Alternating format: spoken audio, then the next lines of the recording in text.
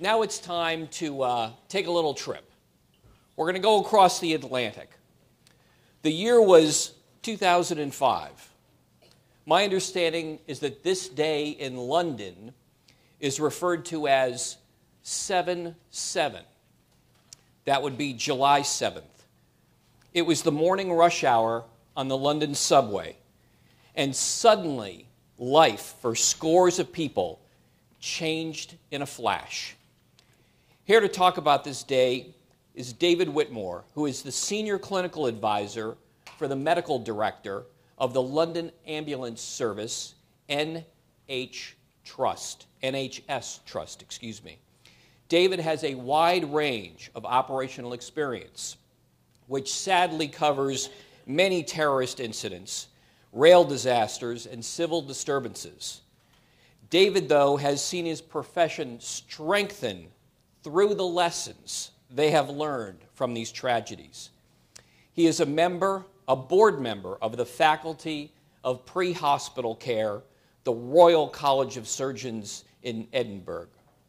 David, thank you. We certainly get the award for traveling the greatest distance. I just have one thought, though, David. Is it true that you accepted this invitation because you knew the royal wedding was taking place tomorrow and the idea of getting out of London was actually averting your own disaster? So, David, thanks again for coming. Come on up and let's hear your story. Thank you. Uh, thank you very much for that kind introduction. I appreciate I'm not a US citizen, but can I plead the Fifth Amendment on that last question? uh, my thanks to being invited here today to speak um, about this incident. Um, what I would like to do before I actually get into my presentation is can I please thank um, everyone in the United States that sent messages of support to both London and the London Ambulance Service following these, these events. Um, we have no way of, of returning those thanks other than when we do these sorts of presentations It's just to say a general thank you. Uh, my thanks go to the, to the United States for those who did send us those messages of support. They were greatly, greatly um, uh, received. I am by profession a paramedic. I've been working for the ambulance service now for about 32 years, so I think I'm probably going to stay. Um, I'll probably retire in, in, in harness.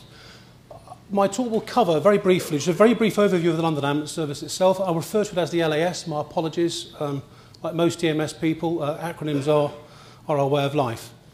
I'll give a very brief overview of, of incidents in London since uh, 1980 to 2005, um, my personal account of what I was doing on the day, Um, and my apologies, I'm trying to explain to you what was essentially actually four bomb sites, but actually on five different locations with patients at five different locations. I'm, I'm actually trying to explain five major incidents in one. So my apologies if it gets a little bit disjointed. I'm very happy to take questions afterwards. And then an overview of, of the LAS, um, how we approach major incidents who we are. We are the, we believe to be the busiest emergency service of its type, ambulance service of its type, which is totally free at the point of delivery. We're the only organisation that covers, health organisation, that covers the whole of London. And we are deemed to be the front line of the, of the NHS in the capital. We cover 383 uh, square miles, and to do this we have 70 ambulance stations, at our busiest times, um, about now in London, it'll be about 250 odd amps on the streets 96 response cars, as you can see there, 10 motorbikes. We use push bikes a lot, and an increasing use of push bikes now, one helicopter, and 70, sorry, my apologies, 45 station pets ranging from cats to animals I really don't know how to describe them.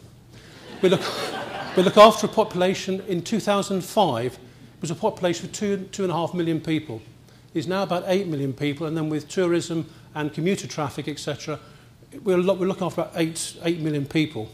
We take roughly, roughly, 3.5 to 4,000 999, 911 calls a day.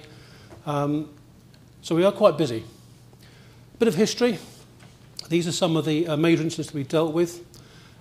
And uh, London, the only time we've ever had two bombings in one day, and I've left out of these slides all the minor bombings. Um, was on in July 1982 when the IRA bombed the uh, Horse Guards and then later on bombed a military band in Regent's Park. I attended both incidents. I'd just finishing cleaning up my ambulance after the Hyde Park bombing, which is on the bottom left of your screen there, when we heard the other bomb go off about a mile away and we were off yet again. In the 90s, we saw less terrorism. Um, and again, I'm afraid not, not all the bombings are on here. I've left out all the, some of the minor Middle Eastern bombings that occurred in London and some of the minor IRA terrorism that was occurring. Um, I'm going to talk about the Compton Street nail bomb, which is the middle one of the blue there, in a moment, to demonstrate how we actually um, deal with major incidents and how we devolve some of our decisions down to our, down to our paramedic staff on the road. As you can see, though, this is the slide um, where we had the 7-7 attacks. But as you can see from these slides, these slides are in the pack, other incidents going on throughout these other years, and sadly, which most of which I, I attended in one role, form or another. It would be very naive of me, ladies and gentlemen, to say that everything went well on that day. It didn't. We, we, we were stretched. I make no apologies for that. We were at absolute capacity, all of us, from the our most junior member of staff to people like myself who were really, really stretched. And I actually should not have been in London that day, or in my office, my apologies. I'll come on to what I was doing and why I was where I was later on. Communications failed very, very quickly. We had hundreds upon hundreds of thousands of people using mobile phones, and the mobile phone system just, just fell over. Um, we have now banned, literally banned, anyone from using a mobile phone at an incident. You will use your airwave radio, which we can now track. We can track you through our digital radios now. We know where you are. Medical logistical support, we had immense difficulty getting uh, supplies and, and, and backup drugs, etc., all these sites.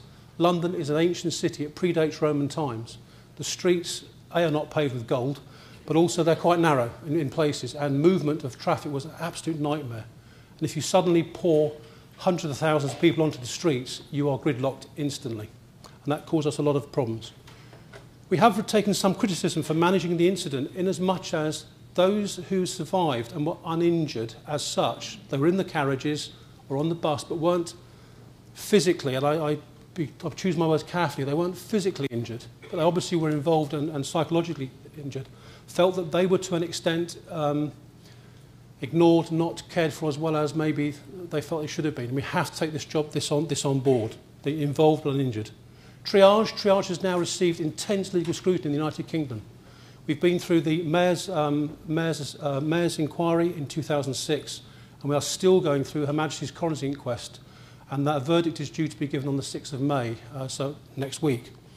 And triage, again, I will talk about triage, but we were, we were crit- we, wrong, criticised wrong word, we were quizzed deeply by the legal teams of the survivors around triage. And incident training and exercise, you've heard so much about that today. Um, I'm afraid you'll hear a bit more from me. We do have one plan in London. It's a quite a small document. It's only about 60 pages long, but every single blue light service, plus the Coast Guard, um, HM Customs and Excise, etc., have all signed up to this plan. And it does detail um, how each service should respond, what they're responsible for, etc. So we do know what each person should be doing. Now, without this plan, we would have been completely and utterly stuffed.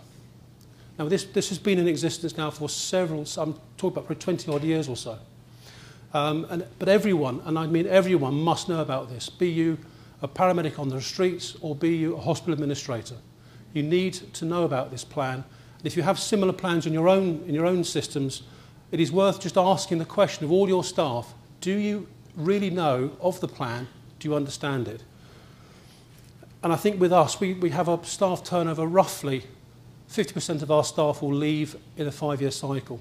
So again, you have to keep reiterating the, these, these lessons. In the UK, we operate a very basic command structure to begin with. Gold, strategic, silver, tactical, bronze, operational. I'm assuming it's fairly um, common to, to most systems or something like this. And we take the view that initially this is role, not rank.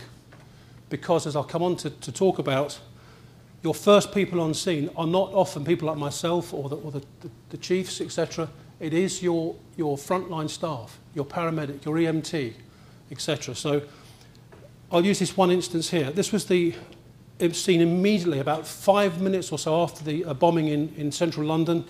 This was by a right-wing activist. He was just out to kill people. He had no particular uh, political affiliations.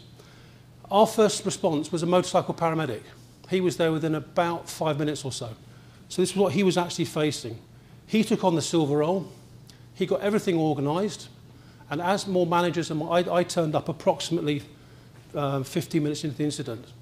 I let him carry on as silver. He had the plans in his head, he was doing a good job. I felt it was, it was much better for me to let him carry on. I would support him and give, him some leadership. And I let him carry on with this. I was very prepared to step in if I had to. I think that's, that's that fine balance your senior managers have got to be prepared to take. But in my view, frontline staff, they get there first. You want to train them, you must trust them, you must trust them, because they will do a good job for you, and then lead them as and when you, you need to. Every member of staff in the LAS is carrying these action cards, and I've, I've still got uh, the ones I used on, on, on 7-7. They're very simple. They just literally detail what you should be doing if you're first on the scene, if you're bronze triage, if you're bronze parking, if you're silver medic, etc. Um, so you can just, they're an aid memoir. It's All they are there, you just take the right card out, bring it to the front and get on with the job. We used a triage card system, which will be familiar to a lot of people here. Um, this is the ones we, again, we were using. And we used a large number of these. I think in my pack, I've actually said 500 odd were used. I'm not quite so sure about that figure, but certainly many, many hundreds. One of the problems we had, though, was um, a lot of these cars were removed on admission to hospital, to the EDs, and therefore some of these cars have just disappeared into the ether. And when we are being quizzed six years down the line by the coroners, um, trying to back up and remember your decisions is very difficult. There is a message there. We also, every duty station officer vehicle carries a series of grab packs, 10 for the various designated roles at a major incident, and all they have is the, an action card for that role, a tabard for that role, some paperwork for that role, that's it. So if you turn up and you have to, you, you have to take on Silver Medic, you're given the pack and you get on with it. Its system does work, it does work. Let's turn to the events now of the 7th of July. Well, the 6th of July was the event that we all really wanted to remember. The day we got the Olympics, I personally groaned because I knew my workload was just going to go straight through the roof. and it still is going through the roof for the Olympics. But we will succeed. The Olympics is going to happen. Okay. Many of you will have been to London, and I hope you have fond memories of it. But as I said, it's an old city. It, the streets are not straight. There's not a, there's not a grid pattern. Um, so, I'll take you through the four bomb sites, and I'm then going to come back to what I was doing. My apologies seems a bit disjointed, but I think this is the best way to explain this. At 8.51, a phone call is received um, into the 999 system that something, and these were the words, something's happened at Aldgate East Tube Station. We now know that it was a bomb, and this is a subsurface type subway system. Um, so the roof of the tunnel here is about 12 to 20 feet in, at the most below, below um, street level. These are some of the larger subway trains, um, and on this particular carriage, this is the fourth carriage uh, from the front of the train. Um, seven people were killed here, and many, many, many scores injured straight out. I'll go through the incidents first, I'll come back over them all. At 0856, we receive a second um, call uh, to King's Cross Underground Station. This is a, also houses above it two mainline stations. The problem with this underground system, well, this particular line is, this is the deep subway system. So you're actually 20 something odd metres below ground level. This bomb went off in the front carriage, and this was where the greatest loss of life occurred, mainly because of the, the diameter of the, of the tube system there. You only have about a, a, a foot or so between the wall of the train and the wall of the tunnel. So a hugely, hugely contained blast. And that is where, why we had the greatest loss of life there. Again, I'll come back to this particular diagram. The third bomb went off at Edgware Road Station. Um, now, this particular bomb was on the front carriage of the train. As you look at this on the right-hand side, it was coming into the station. It detonated as the other train was going out. So debris from the bomb went across the platforms and also killed and injured people on the, on the train going out. There was a tunnel, another tunnel, separate to, to, to this particular one here, where bricks and stuff were dislodged by the blast from the wall and injured people in, in, in another train. Thankfully, though, they were not badly injured. But it just shows the force. These were acetone peroxide bombs, so it's essentially this is high explosive, about 10 pounds worth of high explosive. Being detonated at, in some places 90 feet underground. Absolutely terrifying if you are the person on those trains. When those bombs exploded, as we, and we now know, we now know that it all went off at the same time. 0850 is the time they were actually detonated. Um, we now know the bombers actually made a pact at 0850, wherever you are, you set your bomb off. So, but the problem was the multitude of messages coming through the London Underground system, coming through the 999 system, etc., meant we were getting a very, very confused picture. Where were these bombs going off? And initially we didn't know they were bombs. We initially thought it was a blowout on the um, transformer system of the underground system. We had no idea to begin with these were bombings. But as we got crews on scene, it became very clear this was, this was bombing, this was terrorism. When those bombs exploded, 500 trains in the system. Each train can carry 2,000 people.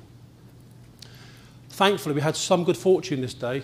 Had these bombs gone off even maybe half an hour earlier, the rush hour would have been even greater. And also, there would have been a lot more children involved, a lot more children involved.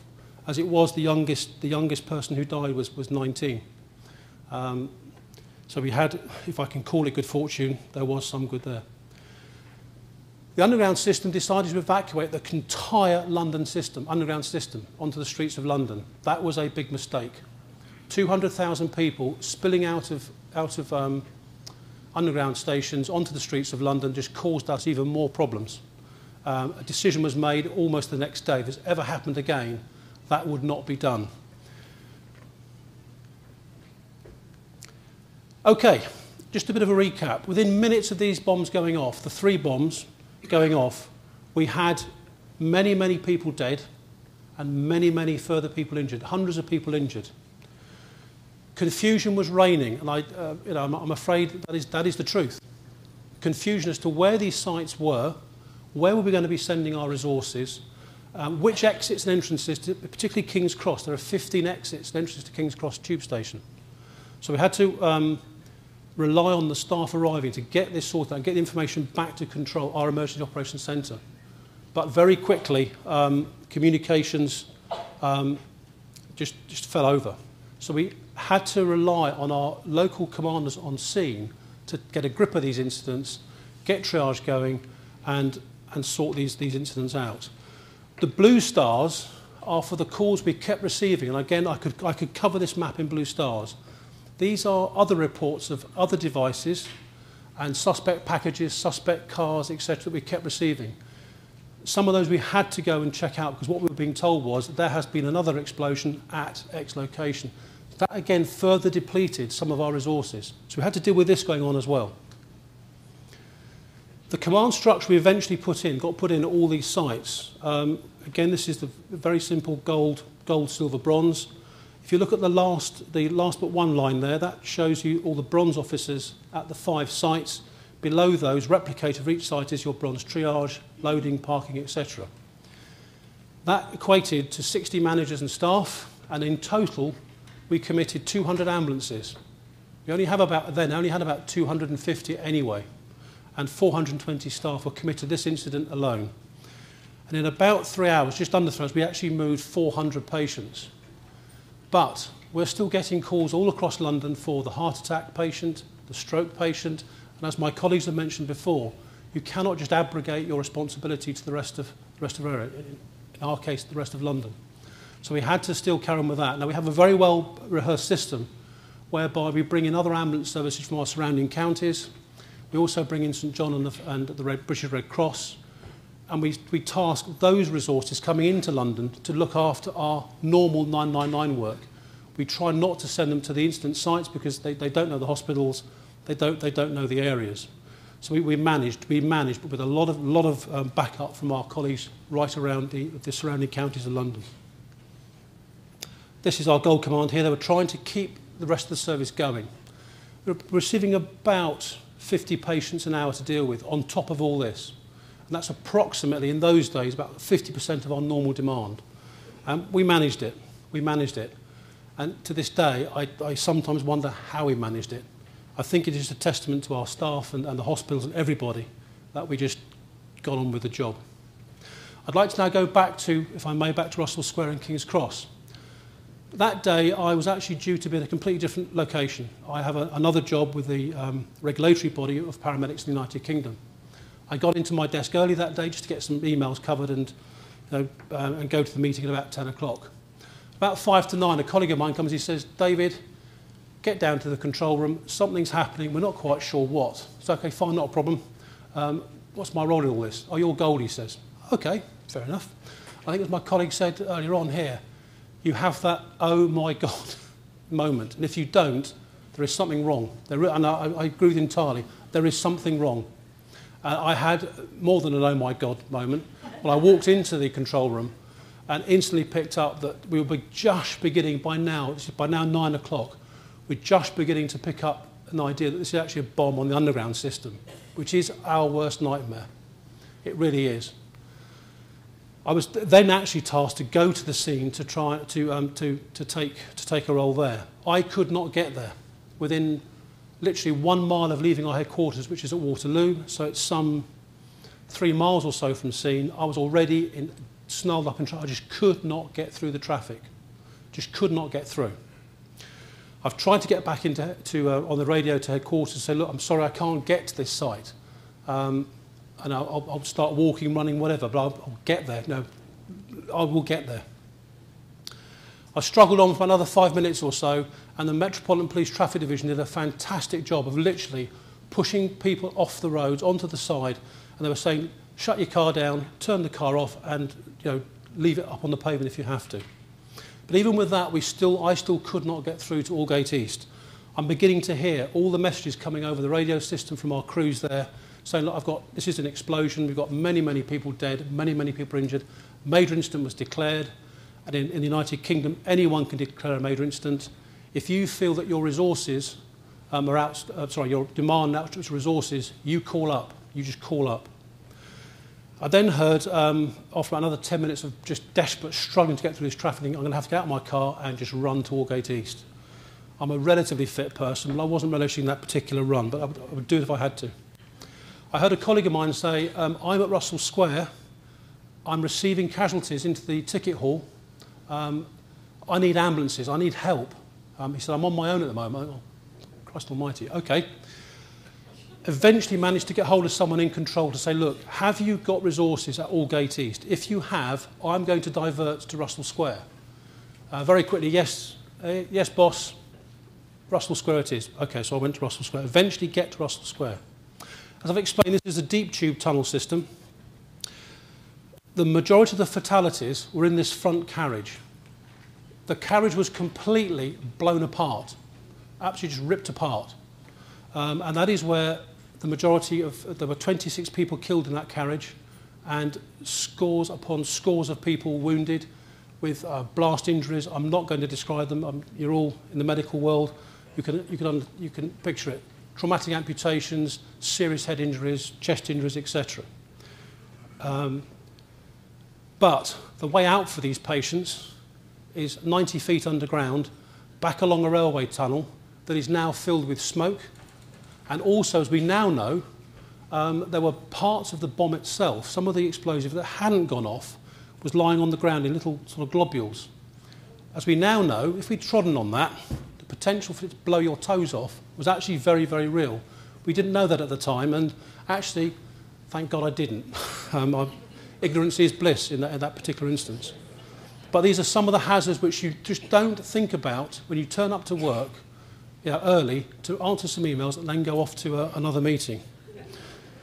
Okay, so the back of this train was pulled away, and very quick was realised we could get that train pulled away, we could get into these carriages much easier to get our patients out. This is the scene of the carriage. Now, this is taken several days after the recovery phase. So all the, all the um, bodies have now been removed. But at the time, if you look at the left-hand side of the screen there, you can see what looks like a blue cable uh, there. That's the tunnel wall. It's very close. Now, the, the, the wall of the train was literally just shattered and blown apart. Um, and but prior to this photograph being taken, you would, you would have been looking at twisted metal, everything else, with patients trapped underneath it. It's dark. The lighting has just the lighting has failed.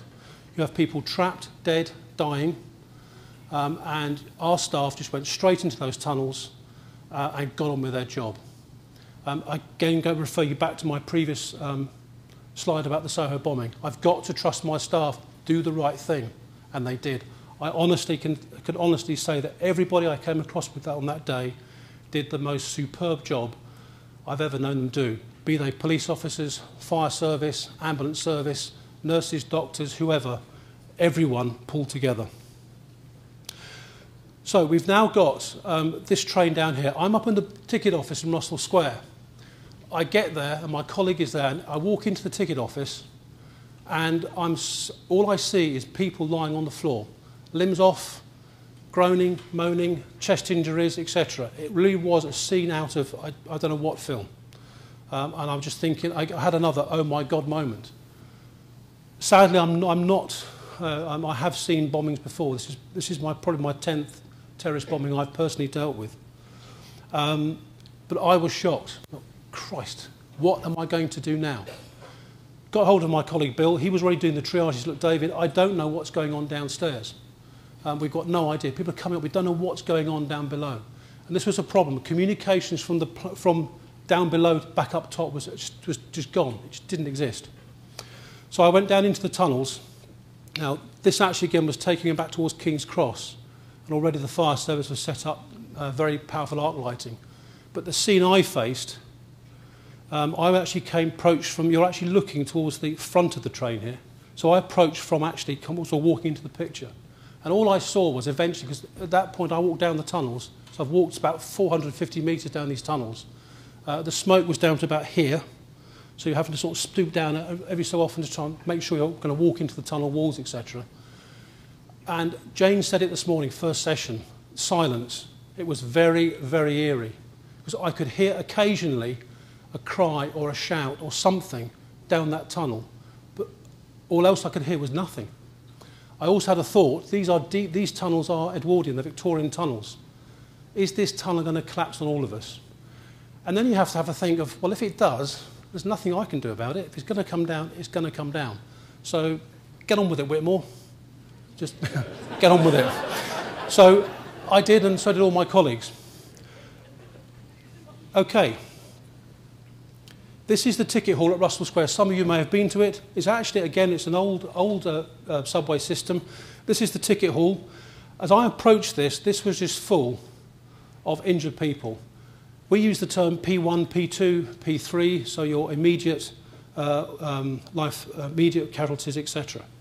P3 is our walking category. We are always worried in London, particularly from our, our lessons from the IRA terrorism, is they were, they were not averse to letting us believe there was a second device planted somewhere to, to catch us all out and kill us. So we were very worried about secondary devices. And we did not know, I did not know at this particular time, is this IRA terrorism? It wasn't quite their, their MO, but we had no idea who the hell was doing this. And that's frightening. That's frightening. Also bear in mind, I, I was aware of the Aldgate East bomb, I was aware of this one. I was vaguely aware of something else going on in, at uh, Edgware Road. But whilst I'd been down underground, the bus bomb had blown up. So when I came back up top, some plans I had in my mind were completely null and void because 200 metres around the corner, they'd blown up a bus and my routes of access and egress for my vehicles was just denied to me. So I had that problem to think about um, as well. So you, it's quite a good exercise in, in command task, this is. Um, so we've now got all these people in this ticket hall here. Several decisions that myself and my colleagues had to make.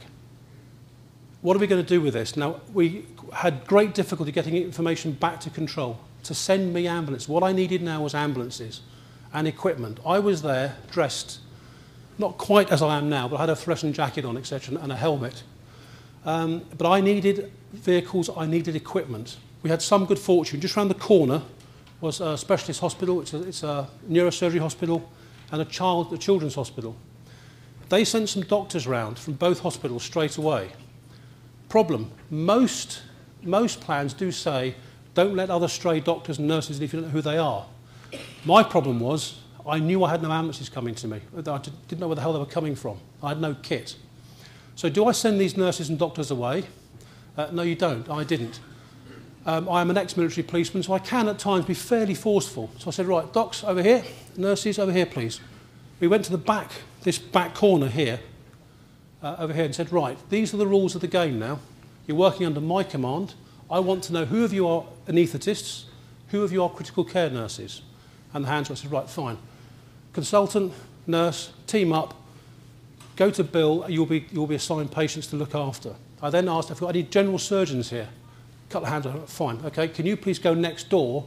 We, ten, we sent all the P3 patients, the walking wounded, next door. I needed them to be retriaged because adrenaline is a very, very good painkiller. So if you've sent a whole lot of walking wounded away to one place, if you don't retriage them, you could end up with several people on the floor as either P2s or P1s, and it would be your fault. So I got the, the general surgeons next door to go and to do that for me. And that's how I worked it. That's how I worked it. Equipment came from the hospital. I had to use that to begin with. Now, we were actually on our own with these patients for nearly 45 minutes. It's been acknowledged that uh, this, was, this was a problem and a mistake. What happened was, as crews that were being sent to us came up the road, which is to the, my apologies, came up the road, which is to, over that, that side as you look at the right hand side, they were seeing the bus that had blown up. That was at Tavistock Square. Tavistock Square, Russell Square. So some of the crews went to the wrong location to begin with. That is not their fault. As they came up the road, they were looking at a bus that's been blown apart and people shouting and screaming, Come here, come here, help me, help me, etc. I cannot criticise them. Um, if, you get, if you get into the blame game with this sort of thing, you lose the trust of your staff. We have a system whereby you must document your decisions. Now, my original decisions were handwritten. I, I um, with Jane and her paper towels. Um, I was using some, um, some, some sort of ticket requisition paper from the ticket. As I wrote my decisions on that, when I got back, back to my office that, about 10 o'clock that night, I typed them up. They're all typed up and, and they're now somewhere in the evidence bundles, as are the handwritten notes. And this is another lesson for people. If you make decisions and write decisions down, that's evidence. In the United Kingdom, I, I can only assume it's the same in this country. That's evidence that shows of what was going through your mind when you make these decisions. So what you write down uh, becomes evidence. This is now in the evidence bundles and the inquests and will stay there. Um, this one regards um, what to do about the number of people in, I've got in the booking hall. Use Tesco's next door, use, and I use another building. My rationale is there. These are in my, in my pack as well. This is the one regarding what we had, had a problem now. All these doctors and nurses were there. We kept saying to me, just, get, just let's move these patients, David. Let's move them. I said, well, I've got no trolley beds. I've got no ambulances. How am I going to do it? Not a problem. We'll get trolley beds from the hospital. And I'm saying, no, no, careful of this. This is a terrorist incident. We don't know if, there's other, if there are other um, devices around. And actually, after about, I'd been there for about 30 minutes, I was approached by an armed anti-terrorist officer Uh, my apologies. Just out of shot here was a blue van. And they said, we strongly suspect, we have very good uh, intelligence, that might be a bomb in there. We need you to move your patients. So I'm very sorry, that is not going to happen. These are people with missing limbs. They are already hemodynamically compromised. And where am I going to take them? I've got nowhere to take these people. At this, this was overheard by some of these doctors and nurses and I had a couple of other staff had arrived, and they looked at me and went, what are you going to do, David? so, you know, that's me, that's leadership. And said, well, I'm afraid, ladies and gentlemen, we are staying here. So if we move these patients out into the streets, we're either going to kill them because we've moved them and they're just, they are so desperately injured. So I'm afraid we stay here. We try and move to the back of the, the ticket off we can. We're going to have to stay where we are. Thankfully, the, the device turned out to be um, a, some telephone directories with some wiring that were just underneath them, thank God. But uh, I certainly had a slightly pale moment. That actually is the blue, the blue van I refer to is just there, you can just see it. This is the scene as I suddenly, as I long last get ambulances, like long last get ambulances. And very quickly we cleared the scene. Um, we managed, to, a lot of vehicles turned up, triage system worked very well, all the P1s went, Peter, and off we went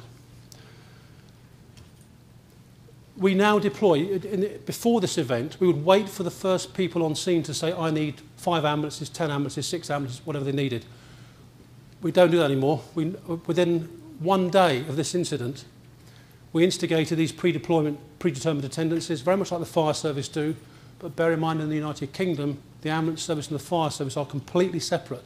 We're funded separately, we train separately. And I do think that's probably a mistake on our part. To any explosion, we will send into these six vehicles, six officers. Um, even if we just have a, a suspicion this might, this might be an explosion, train accident, etc. If someone says this is a major incident, you will get instantly um, 20 vehicles, 10 officers, all the available mass casualty equipment vehicles. Getting equipment to these sites was just horrendous on that day because of, because of, because of the, um, uh, the congestion, absolutely horrendous. I had no, very little morphine on site, very little. But what did happen was a little, uh, uh, a lady turned up, very well dressed, with a Tesco's bag and a Sainsbury's bag, so the equivalent of a sort of Walmart bag and a sort of Costco bag, and said, this bag's got uh, morphine in it, this bag's full of ketamine, where shall I leave it? no, no, no, no. I said, you don't leave it at all, madam. I said, who are you? I'm the pharmacist from, from X hospital. I said, fine. You stay here with me. I said to the doctors, we've now got analgesia here, but I made the decision. I said, look, I'm really sorry. We are going to stick with morphine because that's what we all know we can use. Um, I, I wasn't sure what strength of ketamine she had. The analgesic dose, the anaesthetic dose, that's dodgy. So I said, well, you'll use the morphine only. And that's what we did. Okay, we also have this, in red here, this merit team. This is a new, a new thing we've instigated of previously HEMS, uh, uh, um, paramedics who've worked on the, heli on the helicopter, etc., used to major trauma. We now have these people, they'll carry out their own pages, and we will, we will page them wherever they are in London at the time of any major incident. We get them into the scene as well. And we will always send, and we always used to send, liaison officers to every single hospital that we thought we were going to be using, because that is very important. My apologies if I'm rattling through this. That's one of our mass casualty vehicles. We now have uh, three of these uh, dotted at various locations around London. Each one of these vehicles can now deal with 1,000 patients. That's my apologies. My apologies. My apologies. 300 patients. Sorry, not that many. 300 patients. Just one vehicle. I'd like to turn to triage now, if I may. As I said, this is the first time it's been subject to such intense legal scrutiny in the United Kingdom. I was being asked about decisions I made six years ago for patients I can't remember. Now, bearing in mind patient identification, a huge number of these patients had their clothes blown off them. We had no idea. There was no coat pocket. You know, jackets, you can, you know, you can imagine an explosion in a tube tunnel. Jackets are blown off. Clothing is blown off. You're faced with a majority of people who have shreds of clothing on. You've got no idea who these people are. They just become a male, a female. It's harsh, it's horrible, it's the aspect of triage I, I hate personally, I hate, but you've just got to accept it. This good lady, Gill Hicks, she was one of many, many, many success stories, but very, very, very personal to myself. She actually has uh, no legs. She's, both her legs were, were blown off. She was the last person to be taken from the front of that carriage and carried by two police officers the 450 metres down that tunnel um, through the smoke and everything else. They, they carried her down there. She was brought up um, on the lifts and she was placed in front of me for a triage decision. Very much like a, a patient who was, who was described as earlier on, she was literally on the verge of death. I could have gone one way or the other because literally was this, was this an expected death? But I was, and I'll be, my apologies for swearing, I was so bloody angry by now for what had happened. And I was so frustrated I couldn't move my patients. Uh, I said, this patient is, you know, no one's going to die in this, in this ticket hall. They're really brave words to say, but I was just frustrated, angry. Um, I couldn't do what I wanted what I would normally do for my patients. Um, and I made the decision, um, as I had enough people there, we will do everything for this lady. I said to the two doctors, to a doctor and a nurse, she's P1, deal with her. And they said, but she's about to cardiac, go into cardiac arrest. I said, she's P1, deal with her please. and I re-triaged her several times uh, before vehicles got to me. Um, and I kept saying that she's P1. We've got to hang on. We've got to hang on to this lady. Um, now, the, the EMS person, the people in the audience will, will sympathise with this. Very often, my patients that I send to hospital from a major incident, I never know what happens to them. They go into the back of a vehicle, I drop them at hospital, and sometimes I never know what happens to them. Several months later, my apologies, she skipped a slide there. Um, several months later, I saw a, an article in the paper that said this lady, I now knew her name, was just about to walk down the aisle. I thought, she looks very, very vaguely, vaguely familiar. I actually coloured her in with a pencil because when I first saw her, she was covered in bomb debris, dust, soot, smoke, very few clothing, almost no clothing on. I'm sure that's her. I phoned the, hospital, the um, newspaper concerned to say, is this lady um, from Russell Square? If she is, can you please give her my best wishes for her life? And I literally gave me palpitations. I, I, I was just blown away by it. I actually cried, and my, my wife, uh, when Earth was going on, and my two daughters, who at that time were fairly young, it really did, did choke me up. These are her own words. I would, if you get a chance, uh, read her book. It's her account of how we performed and how your good selves performed. And she has nothing but praise for everybody. Whatever discipline you are, administration, paramedic, doctor, etc. These are her words. She heard the two words, best words that you ever hear. P1, priority one. and a tag of some sort was placed on me.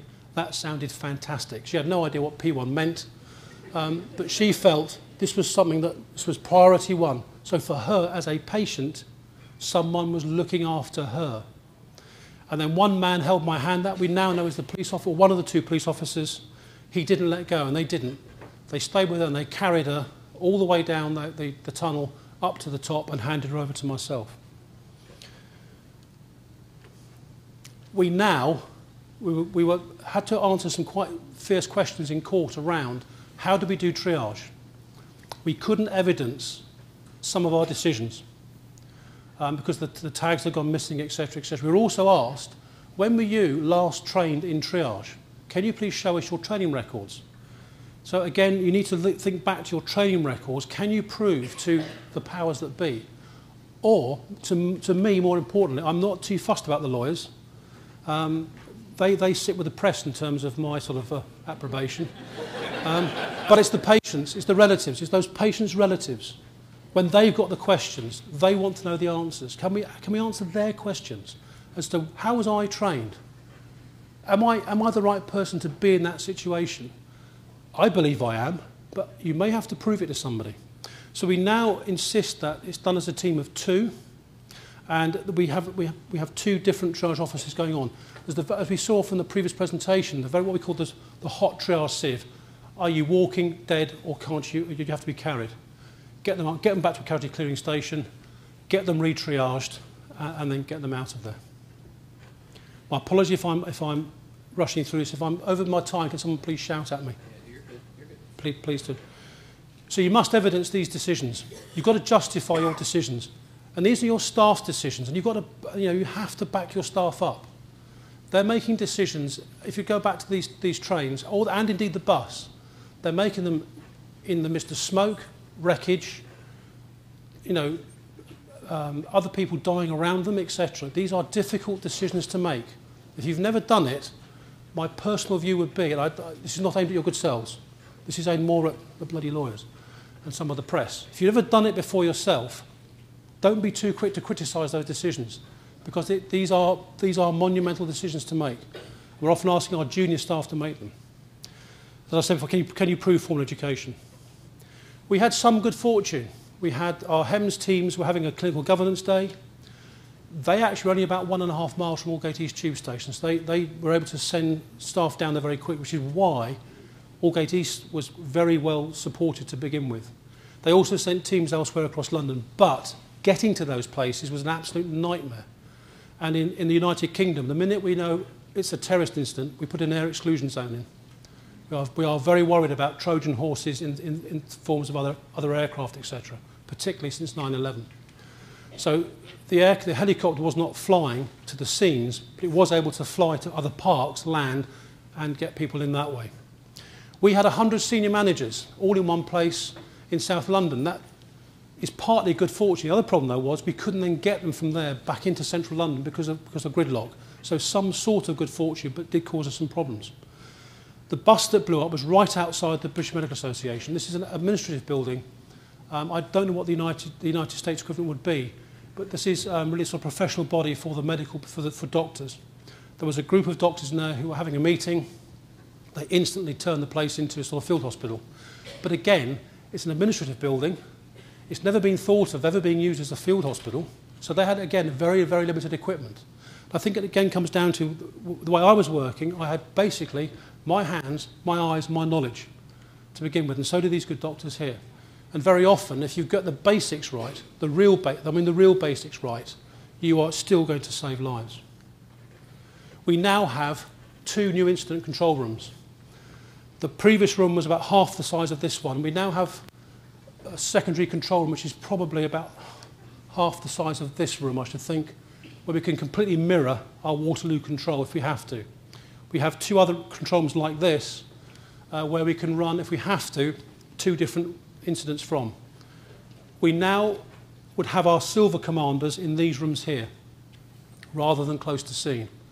We're now using uh, airwave radios. We are confident, touch wood, that communications would not be so much of a problem. But, but, my view is you must always assume comms are going to fail.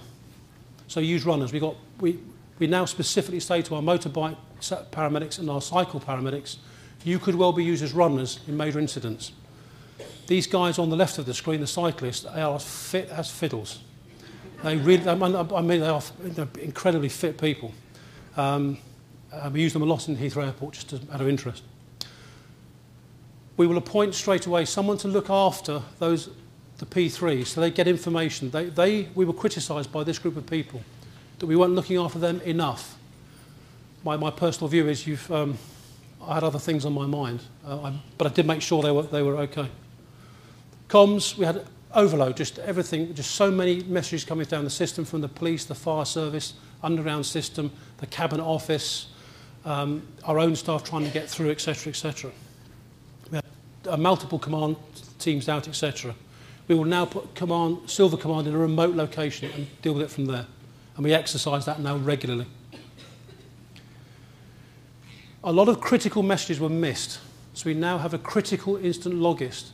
And their job, and there's often two or three of them, their job is just to look through and listen to the messages coming through and say, that's critical, and make sure it gets dealt with. Make sure these things don't get missed out. Mobile phones are banned. If I'm seen using a mobile phone as an incident, I'll probably get shot these days. Um, these are evidence. Your communication devices, we now use these airwave radios, they're, they're digital radios, they are taped. So everything I say down that mobile phone is taped. Even if I say, my God, get me help, uh, everything is taped. But also they track me. So uh, talking, our previous speaker was talking about they, you could track a vehicle, but not the staff we now have the ability to track staff as long as they're above ground. So again, bear in mind this was underground, some of these incidents, so it's not always perfect. I've talked about, I won't, I'll just quickly run through some of these. I've talked a little bit about this. How can you evidence that I'm fit for my role or the people in this room are fit for the roles you undertake? This came under intense scrutiny. I just put that out there. You need to exercise again, again, again, and again. Make it real and stretch people. Now think of the unthinkable. I sympathise greatly with, with, my, with, with John here about being asked, have you, did you exercise for a bridge collapse? Well, no. Um, we are now we are stretching our, our, our management teams and our staff. We ran an incident recently where actually we actually in the in the exercise we actually killed some of our staff because that was often overlooked. We're looking at we're looking at a terrorist incident like the Mumbai style type thing and we said, okay, the first crews that arrived are shot to death. Because that will really, really, really test you. So we think the unthinkable. You've got to exercise these sorts of things. Do you? I mean, is, these are UK um, you know, mountain rescue, uh, fire, police, ambulance, etc. What can they do for you in, in, in these odd situations? Um, I'm actually part of the mountain rescue team as well. I live 150 miles to the north of London in the Peak District. Um, so you know, I have other skills which maybe I can bring to the party. But also, do I know enough how you work? Have you, in your exercises, are you going to test, are you really going to stretch me and test me? Um, we are now, we, I also am a senior lecturer for a university MSc course in Health Incident Command. We are now making this particular MSc de rigueur for certain managers. You're going to have to do it. If you want to take on that role, off you go and do this MSc so that you really understand, but test my leadership in your environment. If I'm, if I'm sent to your hospital, can I, can I come up with the goods for you? We've mentioned staff welfare. There is a macho culture in the EMS system. However, we do lose every incident. We lose two or three members of staff. And it's not always the junior members. It's other staff which just thought, I can't come anymore, I'm gone. We have a peer, we have a peer support system We have our own um, occupational health and counselling. I know how many people access counselling, but I don't know who. We've been very careful with our staff to say this is confidential. Unless and if you really want to talk to me about it or whatever, then please do come and talk to me. But if you access a counsellor in the LAS, uh, I won't know who you are. I think that is, that is quite imp one important aspect. Resilience. Um, I didn't go home for nearly four days. Uh, um, my wife, bless her, is used to this. Um, but again, I do, I, you do need to take on board the welfare of your staff and the welfare of your staff's families. The wife, the husband, the son, the daughter. I'm eternally grateful to my, my wife, bless her, for the support she gives me. And I just think sometimes we, we forget these good people at our peril because uh, they are important to our staff and your staff. We were at threat level critical for months and months. We, we had teams stood up for 24-7 um, for nearly four months. That's a burden, A, on your resources, but also on your mental, just a strain of, is this going to happen again? Because we had no idea, it was just a prelude to a, a, a much bigger bombing campaign. Media management, now I'm, I'm really sorry, my apologies. I'm not going to castigate the media anymore. well, not a bit. But just bear in mind, they have incredible response times, much better than ours sometimes. they, they, they use, in London, they use motorbikes. They're there on scene at the Paddington train crash and fire. They were there, ready to interview me as I turned up. Uh, bloody hell. Um, now, we, we train certain managers to, in, to deal with the press. I sympathise greatly with John's view about the paramedic who was interviewed about the triage decisions. Um, the gentleman you're looking at on the screens here, the chap on the far right, uh, Ian Perkins, is a, cycle is a motorbike paramedic. But we have given him very, very specific uh, media training. And he has agreed, he agreed to, to, to, to be interviewed. The colleague on the far left of the screen, as you, uh, sorry, on the left as you look at it, is the gentleman who was working with me at Russell Square, and the chap in the middle was our Assistant Chief of Operations. We always keep at least two very senior managers back in dress uniform to put in front of a, a camera. The cameras want, at, at one particular incident, the cameras wanted to see me This was from the Paddington train crash. I'd just come back from dealing with 32 people killed in a train crash to be met by um, a reporter, I won't mention which, which network, um, to say, can I take a photograph of you, please, in your, in your jacket? It was covered in blood, soot. And I said, no, I'm sorry, you can't. Give me five minutes, though. Please, and have a cup of tea. Give me five minutes. I'll come back and I'll talk to you. That gave me some space to think, right, okay, fine. What I'm going to say to this chap? But also, I, got, I had to, to change. I came back down. He said, oh, Where's your bloody jacket gone? I said, uh, That's gone in the bin, mate. If you want a photograph, it's me dressed as I am now. Smart. I said, Please think about the families of both the dead, both the, the dead and the survivors. They don't want to see my jacket on these screens or on the newspapers with their loved one's blood on it. And I'll give him his due. He said, Oh, I'd never ever thought about that. So, well, okay, fine, not a problem. Now, how can I help you? Um, we had a, a very good discussion. And the days that follow, and literally days and weeks afterwards, I was giving interviews to, to CNN, uh, Japan, all over the world. But I'm designated to do this work with some other colleagues, so it takes the heat off other people. We then had the whole thing happen again on the 21st of July. Four bombs, thankfully, the detonators went off. The detonators went off, but thankfully, they couldn't get their maths right and they'd mixed the wrong, the wrong ingredients or the wrong quantities of ingredients. The bomb themselves didn't go off. But we were ready. And we flooded these incidents with, with, with vehicles. But I could see the look in, in, my, in my staff's faces. Oh my God, not again. I remember I was thinking, oh my God, not again, please, no, no, not within two weeks. I, I don't think I can take this. Um, thankfully, um, that they, they didn't go off, thankfully. Key messages. It was the first time we'd seen suicide bombing in Western Europe. You had had the terrible events of 9-11. And I would, you know, these events we experienced in London pale into insignificance against 9-11. They just, they just don't compare. Dreadful events in, in New York. You do need to exercise multiple incidents on different sites to really stretch your command systems, your staff, everybody, the hospitals. Triage needs constant practicing because you are going to be questioned about this. Extensive planning is essential. Two minutes before the party is not the time to learn to dance. Exercise role, not rank, but bear in mind your higher ranked people, people like myself and above, are going to have to take on board much further uh, education, training, etc. Communications, if they do fail, how are you going to carry on? Have a plan when the plan fails, because the communications will fail. Um, my apologies if I've run over my time, my sincere apologies.